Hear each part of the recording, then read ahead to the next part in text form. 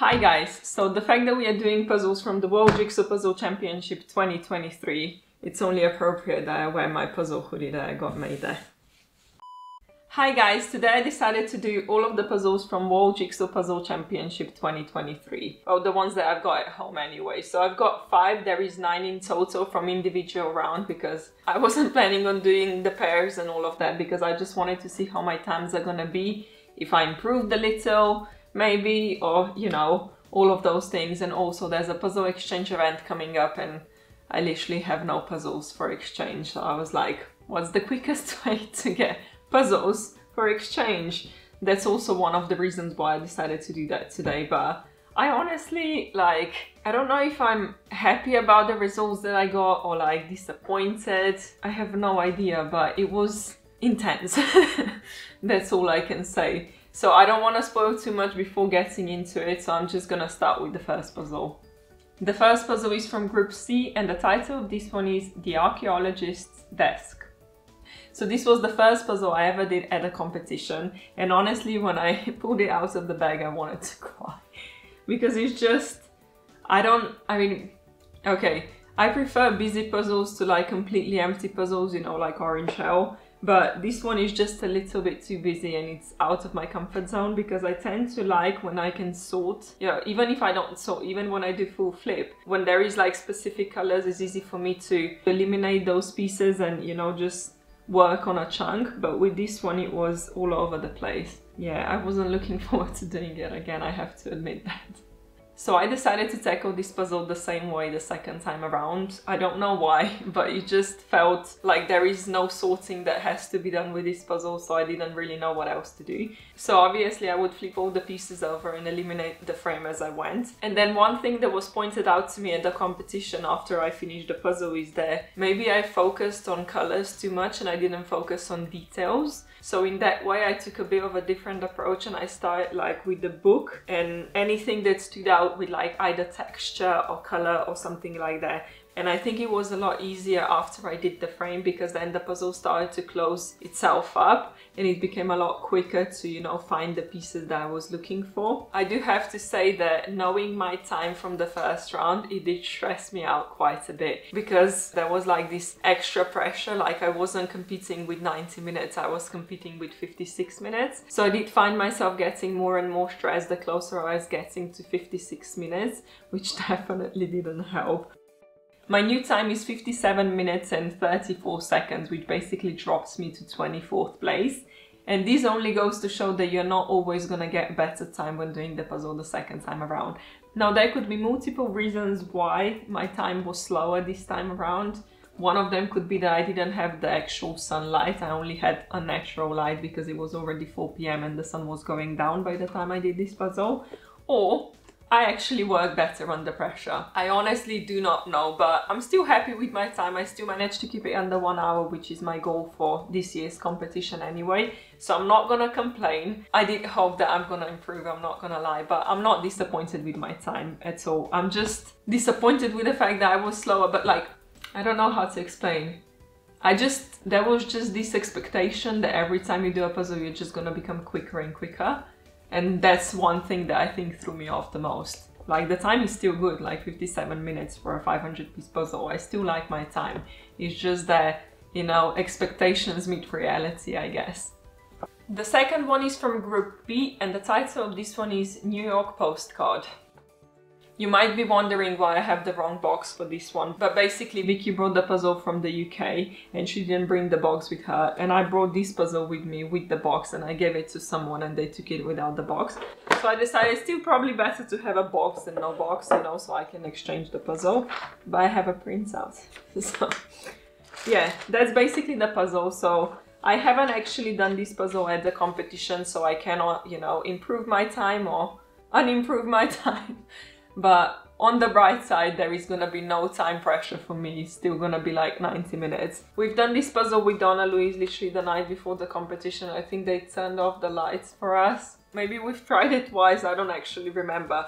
But basically we've done the puzzle. I was doing this section And honestly, now when I was redoing the puzzle, it didn't really help. I didn't remember anything. So I basically have nothing to compare myself to, so we are just gonna crack on with the puzzle and see the results after.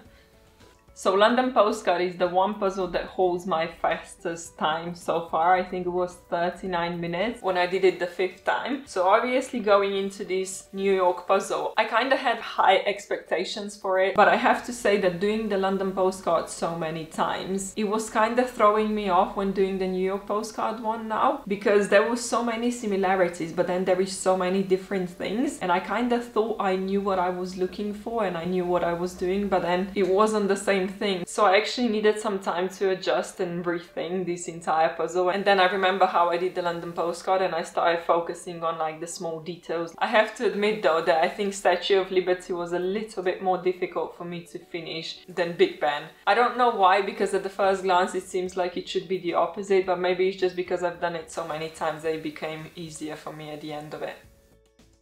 So I finished the puzzle in 50 minutes and 57 seconds, which would place me on 21st spot exactly like Sarah.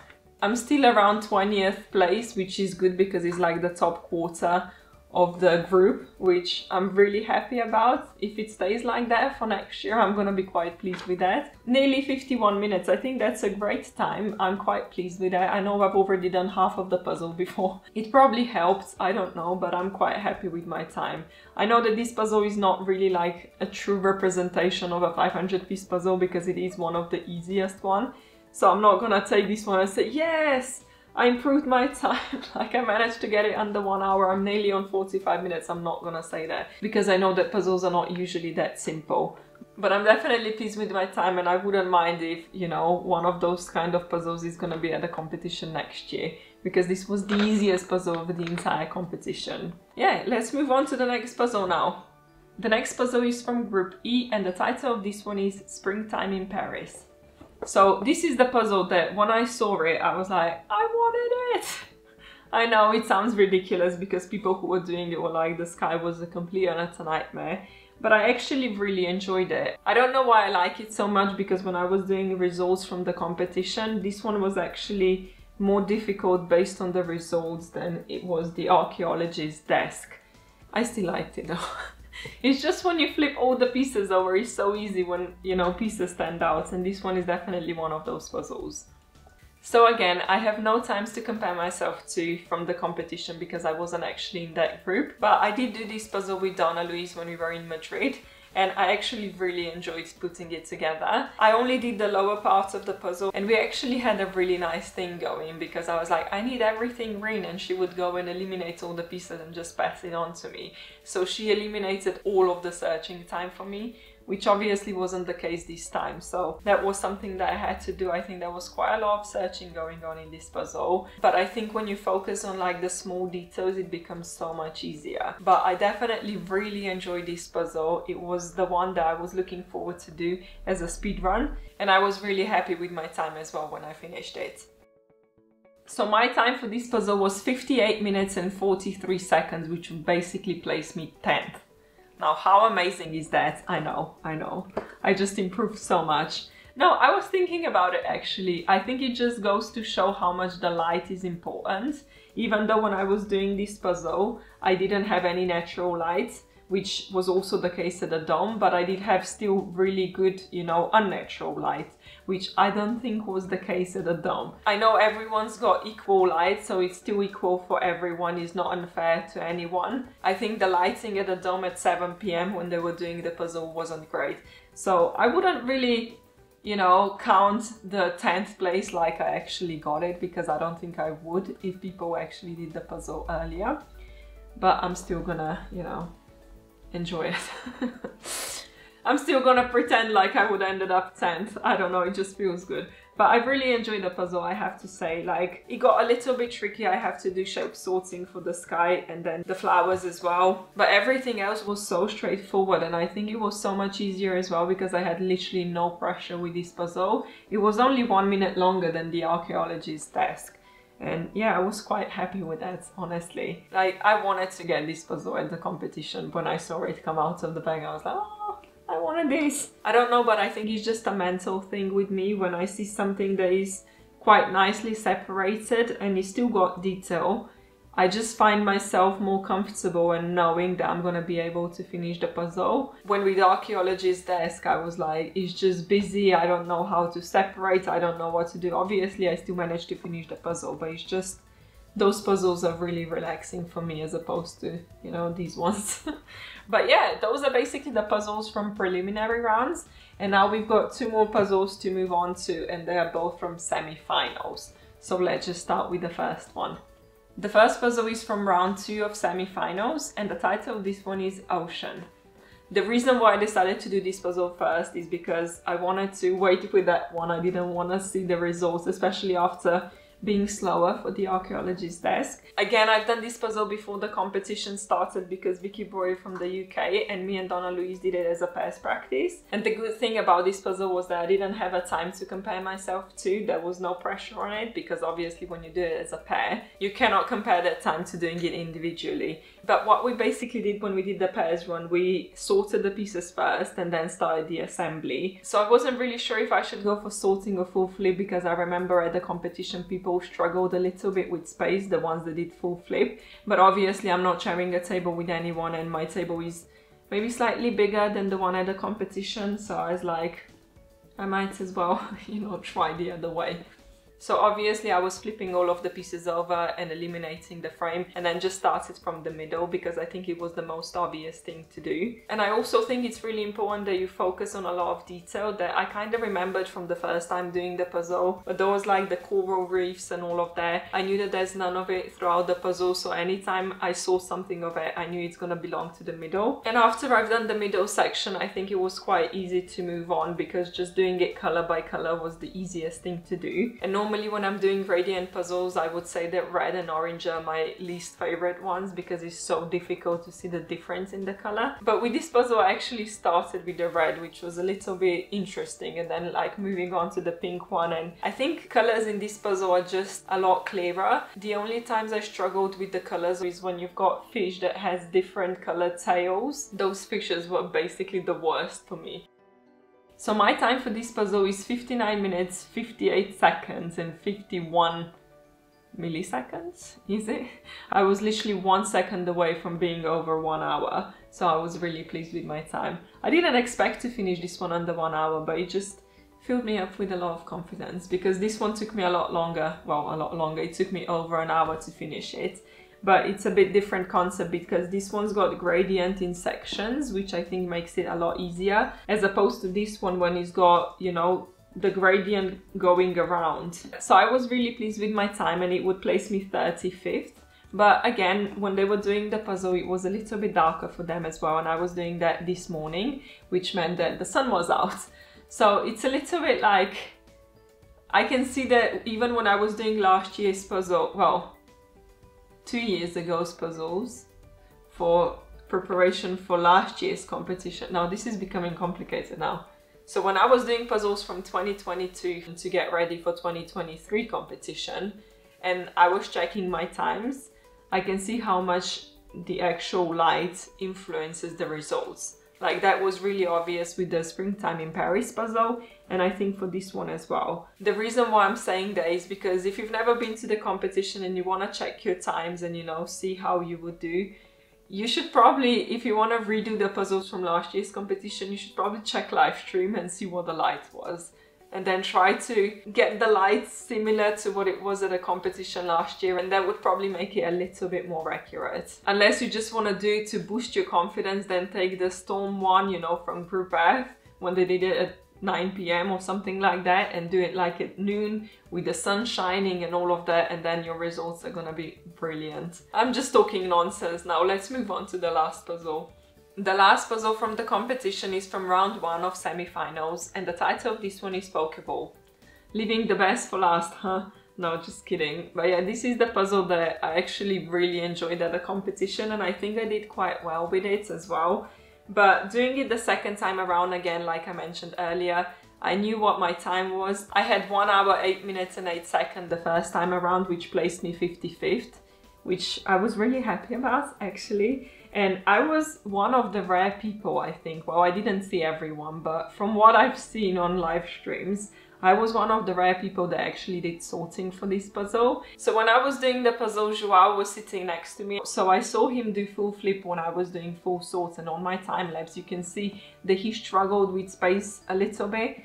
So that's why I was like not sure what to do with the other puzzle. But my table is big enough here. I didn't have to share with anyone and I didn't struggle with space. You know what? I had good lighting at the competition. I have good lighting today. I did full sorts at the competition. Why not do a full flip today? Because actually the light is the same, well, similar. So that definitely shouldn't influence how quick I was. But I decided to try the different technique this time. I don't think I would go for full flip method at the competition because I still think there is a bit less space there. And also it could just become a little bit crowded and you could start you know dropping pieces on the floor and all of that. So i think with those larger puzzles from ravensburger i would just avoid doing that. But nothing stops me for trying at home. So that's why i decided that i might use a different technique on this puzzle the second time around so when I was doing the full flip, I decided to eliminate the frame and the second row because the second row is really obvious on this puzzle. So starting with the purple and then making my way out of the puzzle, it was basically the same technique I used at the competition except I didn't have pieces sorted. I think this became a little bit complicated when I came to like yellow slash orangey slash greeny. I didn't really see that much color difference. At one point I have to admit when I saw how much of the puzzle I have done and I saw the time I was like oh my god I'm gonna be like 10 minutes quicker. And then it just slowed down so much I cannot tell you and it just goes to show that like having gradient puzzle going from the inside out is a lot more difficult. The ocean one has the same amount of yellow than it has purple so in that sense it's a lot easier to solve. What really helps with this puzzle is seeing the textures as well but the frame is definitely gonna be the most difficult on this puzzle because it's just blue and the only thing that can really help you is just really looking the shape of the prongs and sometimes you could see how thin or thick the light blue line was on the pieces and that could help as well. So my new time is 1 hour 7 minutes and 2 seconds which basically improved my time for 5 places. I'm really happy about that. Like at one point I honestly thought that I'm gonna finish this puzzle in under 1 hour because it was going so fast but then the frame and all of the, oh, it just takes so much time, honestly. And there's literally nothing you can do about it because it's got nothing.